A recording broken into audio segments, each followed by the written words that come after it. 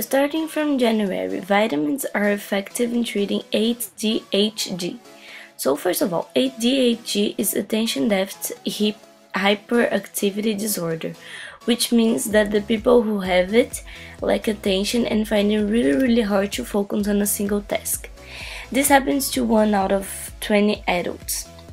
And currently it, it is not curable, however, there's a lot of medicines that uh, stimulate the nervous system so it gets the symptoms a lot better. However, recent material on the subject revealed that vitamins and minerals can also help the distracted patients.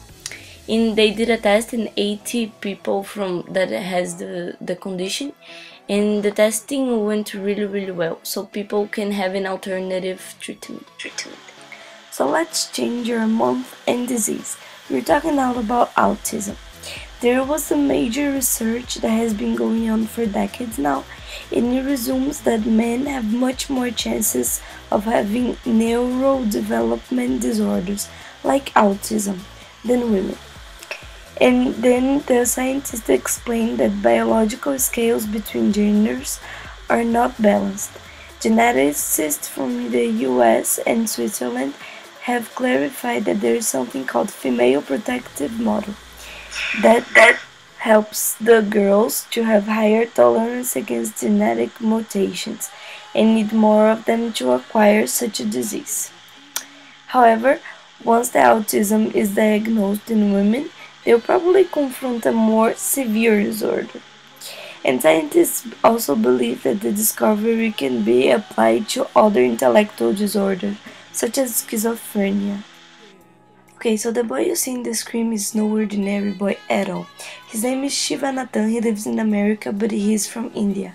And in 2012, when one of the people from his family lost the two forearms, he invented this genius arm that can read your mind and that changes the life of many people who have some part of them amputated. Back then, when he wasn't even 15, he didn't have access to a robotic lab.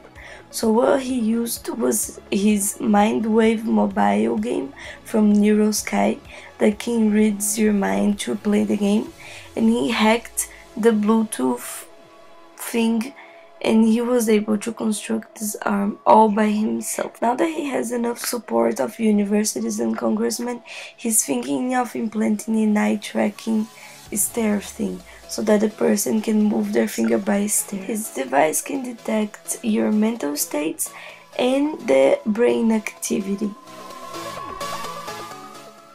Okay, so I bet whatever you want that somebody already told you that laughter is the best medicine.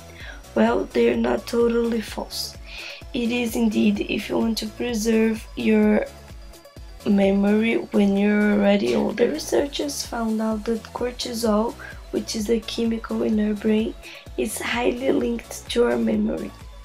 And this cortisol is also the stress hormone, but it's fed by our stress.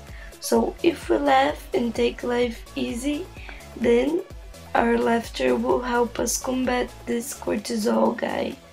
And then we will have much more chances of having a better memory. Just to finish, it also they also discovered that it has to do with blood pressure and the flow in your body, which is also helped by the laughter. Brain injury releases math powers. You see, both men, they are the same person. The jock, John, Jason Padgett, was mugged and he suffered from concussion and was knocked out. When he woke up in the hospital, he was like this other man. He was super good at math and he was also suffering from compulsive obsessive disorder. What happened was something about his saving and lack of transcranial stimulation. This thing can help you gain something, some skill, or decrease some skill. In his case, both. His case is still being analyzed by scientists because it's really rare. Scientists from the University of Illinois use something called electroencephalography to associate fitness to brain activity. They placed an electro cap on children's heads to summarize some electro impulses. The experiment focuses in the activity of the brain's component called N400 that is activated by the sense you make of things, by your understanding of something that is really simple.